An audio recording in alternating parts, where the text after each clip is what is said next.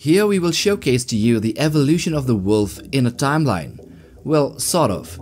Keep in mind that in evolutionary biology and taxonomy, there are quite a lot of missing things to say the least. This is because fossils require specific conditions to form and sometimes the discoveries are either fragmentary remains or that scientists take quite a long time to ascertain as to which species these fossils would belong to. Anyway, surprisingly, the evolution of the wolf is more documented as compared to tons of other animals, and thus here we are streamlining it as best as we can, plus taking a look at where the dire wolf would fit in. So let's get to it. After the dinosaurs went extinct 65 million years ago, mammals slowly became the dominant species on land in the Cenozoic era, and over time they began to diversify with different clades and families. So about 40 million years ago, the dog family, which is also called Canidae, began to develop, and as of today, only one branch survive, which includes wolves, foxes and their relatives, as well as dogs. So if we rewind back the clock, we first make a stop at 34 million years ago in North America. Here we find one of the earliest caniforms.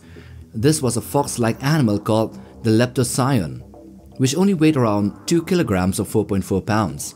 These animals and the species that came out of them would survive until around 9 million years ago when all members of that genus disappeared from the fossil records. But the foundation was laid and the evolution of wolves had started. Then around 10 million years ago, a jackal-sized canid called the Eucyon was discovered and it too lived in North America. One of its species, the Eucyon davisi, spread out and invaded Eurasia around 6 to 5 million years ago. But it is theorized that in North America, the Eucyon would eventually give rise to early members of the Canis genus, which is the group that includes wolves, dogs, and coyotes. Another species called the Eucyon ferox may have also played a big and important role in the early evolution of the Canis group, and many think that this species may have marked the beginning of the wolf-like canids. So a bit later, between 5 and 4 million years ago, the first of the Canis genus called Canis lepophagus began to appear in the southwestern parts of North America, around Texas and California. And scientists believe that it may have been one of the first true ancestors of modern wolves, and it may have well been a common ancestor to both wolves and coyotes, being a species at the point where the two modern uh, species would begin to diverge. Then there was also another one called Canis chihliensis, which lived around the same time, around 4 and 5 million years ago, that might have served as the more direct ancestor to modern canines, which were not foxes and coyotes. But here the debate is still on for this one. Then there was a missing record for 3 million years, and nothing was seen there. But if we fast forward a bit, we find a species which is considered to be a direct ancestor and shared many of the common traits as well as DNA sequences as those of modern wolves. This is of course called the Etruscan wolf or also called Canis etruscus, which lived around 1.9 to 1.6 million years ago. This dog-like creature is small in comparison to its descendants, but nevertheless was key in the speciation process that led to modern wolves. The more well-known Ambrosius wolf, however, also called Canis armbrusteri living around the same time, is thought to be the ancestor to the dire wolf, and thus marking a branching off in the family tree that would define how related the grey wolves are to the dire wolves. But then again, this theory was later challenged and changed, and hang on tight, we will expand on it in a little bit more detail later in this video. So back to the Etruscan wolf which was endemic to the Mediterranean and the Crimean area, came out its direct descendant and a direct ancestor to the lupus species. This is Canis mosbachensis, and it lived around 1.4 million years ago, up till about 400,000 years ago. Also known as the Mosbach wolf, it is so closely related to the modern wolves that distinguishing one from the other is so hard that it is mostly done by size of the specimens, which led to the belief that they might have just been separate subspecies. And the Mosbach wolf is on average a little bit smaller than the large specimens of a grey wolf, like the Yukon ones. And thus we finally come to the Canis lupus species, with the earliest known specimens being the cave wolf of Eurasia, also known as Canis lupus spelaeus. It is the earliest subspecies, which live around 300,000 to 12,000 years ago. So yeah, the cave wolf isn't a separate species but a subspecies of the grey wolf. This means that they could likely interbreed and share a common ancestor relatively recently in evolutionary terms. Also, DNA studies show that there was a constant gene flow between the Siberian wolves and the European wolves during the late Pleistocene era. And also the cave wolves were a part of this population network. So these ancient cave wolves were larger than the largest modern ones, but their legs were shorter than as compared to the tundra wolf. But they were the same as compared to the modern Arctic wolves, and thus they may be their direct ancestors. Now, the modern species of grey wolves have existed for around 250,000 years and have given rise to several subspecies and related populations over time.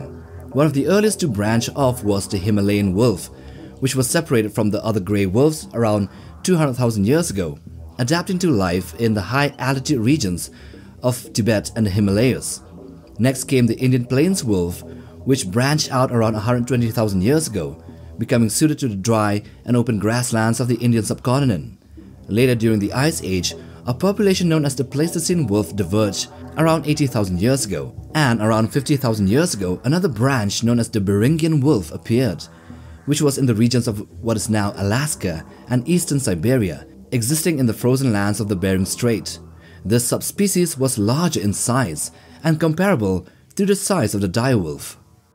And one of the most significant offshoots of grey wolves came when dogs, also known as Canis lupus familiaris, began to separate from wild wolf populations, likely around 30,000 years ago, through the domestication by early humans.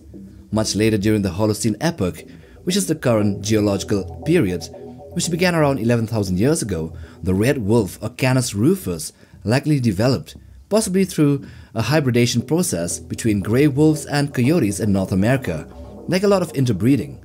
So surprising as it may seem, the endangered red wolves might have been a freak of nature, and the same as dogs, which were divergent in that humans started taking control of their speciation. So that concludes the evolutionary journey of the wolf from its earliest ancestor 34 million years ago up to now. And so, now let's take a look at a direwolf which has been making headlines these recent days. Are they really direwolves? And how closely related are they to modern wolves? So straight to the point, the second point, the direwolf is a larger canine species that is on average around 68 kilograms or 150 pounds in weight, with some individuals that might have exceeded 200 pounds. It is of the genus and species Aenocyon dirus, which is not even of the Canis species which includes coyotes and wolves, and thus they are not closely related to wolves at all, despite their similar appearances. Recent genetic studies have revealed that dire wolves diverged from the ancestors of grey wolves and other canids approximately 5.7 million years ago, evolving in isolation in North America. And also, unlike grey wolves and their subspecies which can freely interbreed, or even between grey wolves and coyotes which sometimes can and do so in the wild, the direwolves are so distant that it is theoretically highly unlikely a viable offspring or a pup could be created if one of them would have bred with a grey wolf. And even if they did, a sterile pup would have been born, which would be like how a sterile mule comes from the mating of a horse and a donkey. And regarding the recent news about the resurrection of direwolves, the animals in question are not really true direwolves at all, but just genetically modified grey wolves.